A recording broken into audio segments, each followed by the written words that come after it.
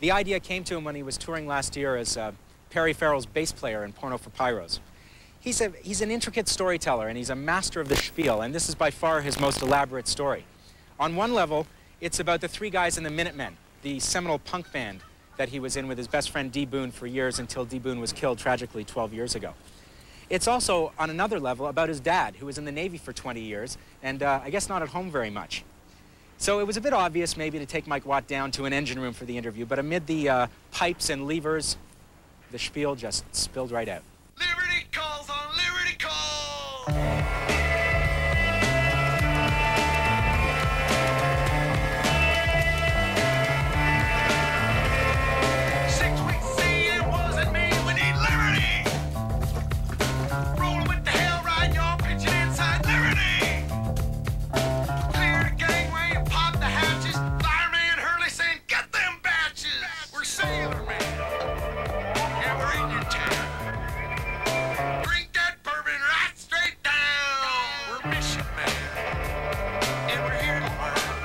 To got to start with the down the hatch shot.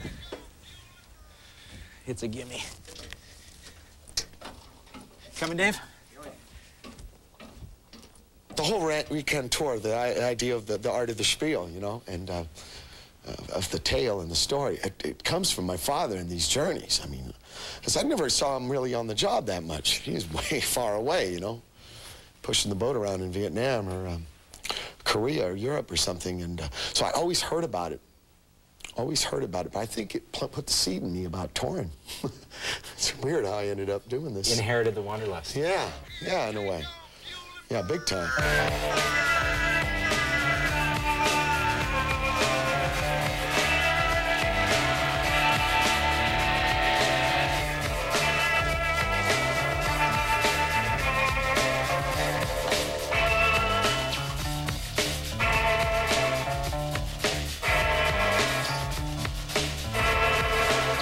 Last year was a weird year for me, uh, helping Perry out with porno, right? Well, the last time we saw you, you, you were dragging us down to. Perry's dressing room with your schmutto on your caftan there. what are you doing with this? These are the, the now stenched uh, outfit rags. You're gonna give them back now? yeah, come on. All right. Hey, here we go. Let's go. What do we got going here? Get some stench rags. Stench rags. Mike, I got you lots of pictures. Hey, They're following you In on the bag, phone. yes. The day in the life of Mike Watt. You know, Mike, please don't say you know me. You've got just too, too high a profile. Look at you. So I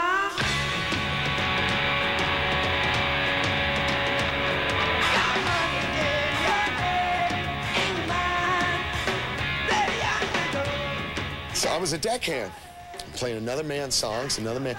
I learned a lot, though. You know, you can't learn everything being a boss. It's good to switch roles. Leaders should be sidemen, sidemen leaders. I, I, I treasure it so much. And, and about Perry, you know, he is not a. Uh, I think I've told you that. He doesn't have a machine strapped to him. He's kind of the bridge. And he doesn't talk in D minor, Mixolydian, augmented fifth, you know. It's more stories and.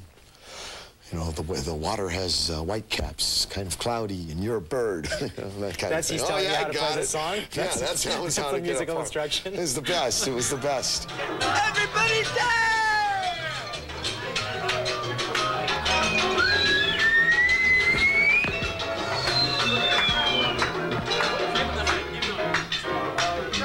Thing about touring with them is that they what, play three days a week.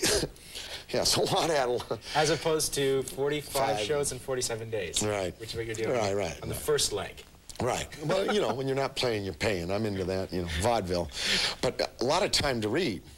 I read all in like 800 pages, right? Don Quixote and uh, the new Eco book. But I found this book in a used bookstore called Sand Pebbles, which was me and D. Boon's favorite book when we were kids. Not book, movie. It a Steve McQueen movie.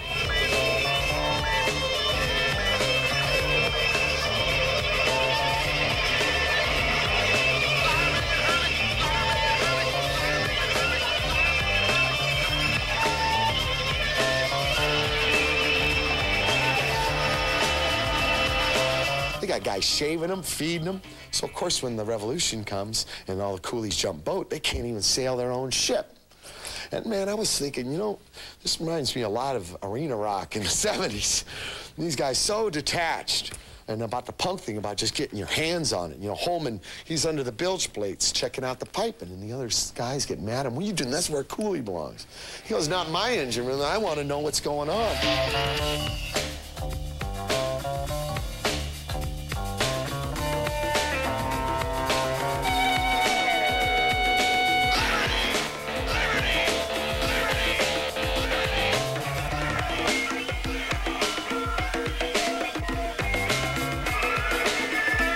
Got me started about this. And I was thinking about my father, you know, 17 years old, and what he grew up in this town called Red Bluff, a little farm town. And I guess a little town gets a little suffocating. Sorry. But uh, his ticket out, you know, was the Navy. No vans yet, no, no punk bands to join. so he had to join Uncle Sam's band, you know. Organized just a little different. And getting a girl prayers was the last straw. You still hear your mom singing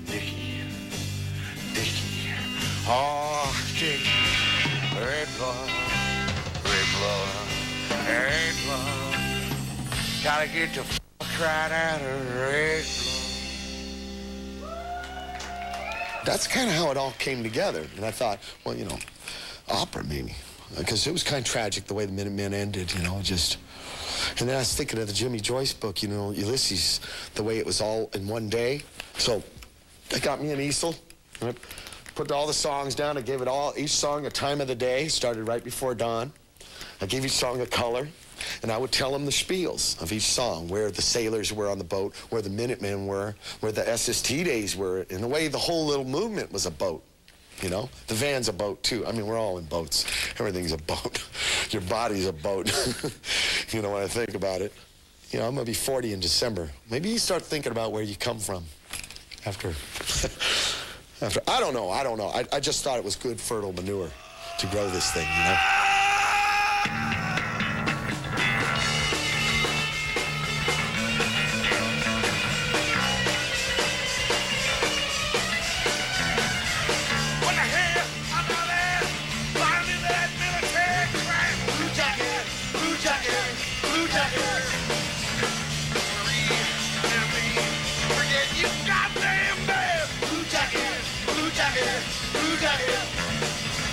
Was very heavy in a way because I've really never dealt with the D Boon thing emotionally in songs. Ish.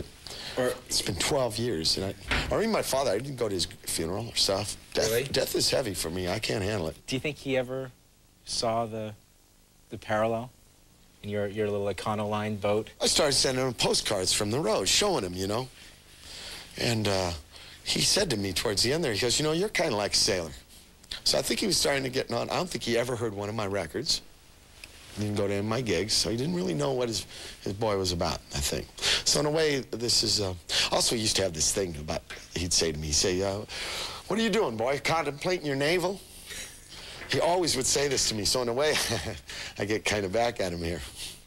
Contemplating the engine, you know, naval, the, this kind of thing.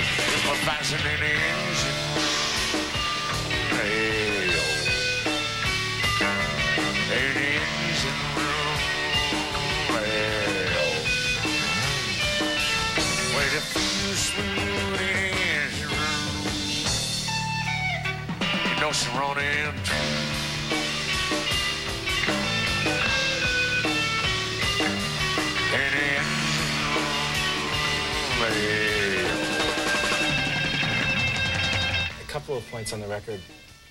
I found myself really, um, really touched by how present D. Boon still seems to you. Like, Oh, yeah. uh, you think about him every day, Oh, yeah. do you? Oh, yeah. Like he seems never to be very far from the surface. No. No, he's not. It's a weird thing. It's kind of a weird guilt in a way that he's not here to be with me to do this stuff. But, uh, you know, The guilt of the survivor. yeah, but at least I got some work. That's why I say at the end, you know, you're going to lose people. But if you got a little work, if you still got your craft, you're a lucky man. That's why I say I'm lucky man. And it's, you get dealt a hand and you just got to play it the best you can. That, that's something I can't, I can't figure out, but it, it is very real. I know that.